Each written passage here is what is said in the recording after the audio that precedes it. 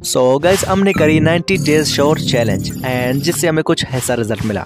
ओए तुम गलती कर रहे हो। रिज़ल्ट पहले दिखाना नहीं होता लास्ट में होता है। ओ सॉरी सॉरी कट कर देना कट कर देना प्लीज़ इसे। सो so गाइस हमने करी अपनी चैनल पे 90 डेज़ शॉर्ट चैलेंज एंड इससे जो हमें रिज़ल्ट एंड एक्सपीरियंस मिला इस सब मैं आप लोगों के साथ आगे चलकर शेयर करने वाला हूँ। तो इसके लिए वीडियो का कोई सा भी पार्ट मिस करने की गलती मत करना क्योंकि मैं बार बार ऐसे एक्सपेरिमेंट करने वाला नहीं हूँ। तो चलिए वीडियो को स्टार्ट करते हैं। चल चल चल चल।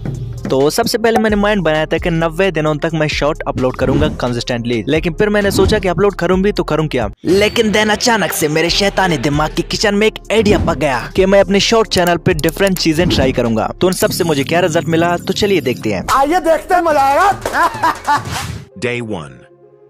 सो so, इसके बाद डे वन में मैंने एक शॉर्ट अपलोड किया जिसमें पता है कितने व्यूज़ आ गए? 89 and I was like bro मैं तो यूट्यूब का गॉड हूँ। सिर्फ़ व्यूज़ मुझे ही आते हैं और किसी को नहीं. तुम्हारे जैसे लोग इस देश के लिए श्राप है। डे 2.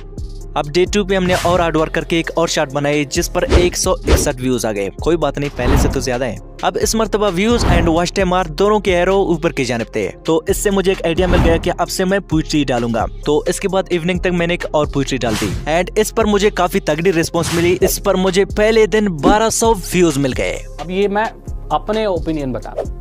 अब इससे मुझे एक और आइडिया भी मिल गया कि शॉर्ट वीडियो के लेंथ को जितना भी कम रखेंगे, उससे हमें उतना ही ज़्यादा व्यूज़ मिलेंगे एंड ऑडियंस रिटेंशन उतना ही बढ़ेगा तो चलिए अब से सेम स्ट्रेटेजी अपनाते हैं डे 3. तो ये हमारे शॉर्ट चैलेंज का तीसरा दिन, जिस पर मैंने शॉर्ट अपलोड की और मुझे तीस सौ इकसठ व्यूज़ मिल गए। तो इससे आप लोग देख सकते हैं कि शॉर्ट का एरो छह घंटे के बाद एकदम से ऊपर की जानब गया है। तो इससे मेरे शैतानी दिमाग की किचन में एक और आइडिया पक गया कि जब कभी भी मैं शाम के टाइम वीडियो अपलोड करूँगा तो ये छह से सात घंटे बाद ही वायरल होंगे। तो शाम को अपलोड करने के बाद ये रात के एक या दो बजे वायरल होंगे। तो इससे एक या दो बजे हमें एक्टिव सब्सक्राइबर मिलेंगे नहीं, तब इसके बाद मेरे वीडियो हज़ार या दो हज़ार पे जाकर रुक जाती है। तो इसके लिए मैं नेक्स्ट वीडियो में करूँगा क्या की एक से दो बजे के दरमियान मैं वीडियो को अपलोड करूँगा Day 14. तो अब हमारे चैनल के सेकंड वीक कंप्लीट हो गया। इसमें मैंने डिफरेंट चीज़ें ट्राई की। मैंने वीडियो अपलोड करने का टाइम चेंज किया, इनके टैग्स टाइटल में एक्सपेरिमेंट की। तो इसके बाद मैंने वीडियो अपलोड की, इस पर 6000 व्यूज़ आ गए। और इसमें हमारी ऑडियंस रिटेंशन 95 परसेंट थी, लेकिन फिर भी एरो डाउन शो रहा था। एंड इसके बाद मैंने इस चैनल पे बहुत सारे शॉर्ट्स अपलोड किए जिसपे मुझे एक हज़ार, दो हज़ार, तीन हज़ार, बारह सौ कुछ ऐसे व्यूज़ मिले। एंड देन इसके बाद एक मंथ कंप्लीट होने के बाद मैंने इस चैनल को छोड़ दिया।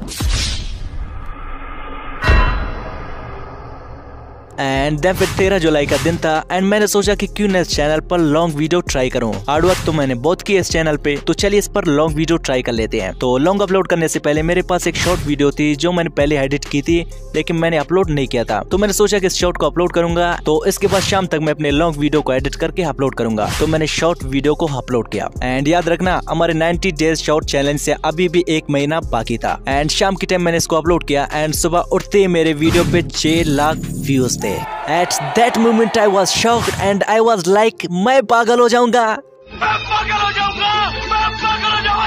एंड देन फिर शाम के टाइम तक उस वीडियो पर 1.4 मिलियन व्यूज़ आ गए। तब उस टाइम मेरे सारे शॉर्ट वीडियो को लगा था कि चैनल मर चुका है। पर मेरे लास्ट वीडियो ने कहा